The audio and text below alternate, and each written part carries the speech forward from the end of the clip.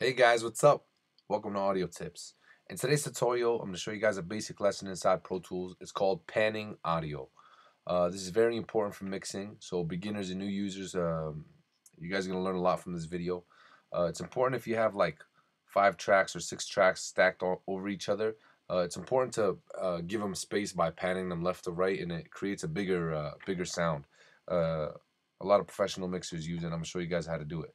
So let's say we got um, um our audio track and we want to pan it left to right, we're going to have to go into our mix screen. And uh, it works the same as stereo and mono. Usually on mono uh, is just one knob, and because this is stereo, it has two knobs.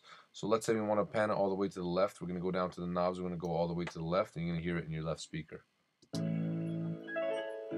going to pan it to the right. Take it to the right. I'm going to center it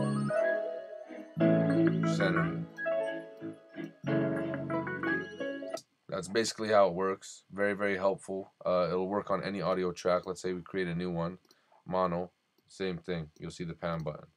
But this is a mono track, so it only has one knob. Uh, this is very, very helpful and very, very useful and very, very beneficial. I hope you guys uh, learn it and start using it in the future. Thank you guys for viewing my videos and uh, please subscribe.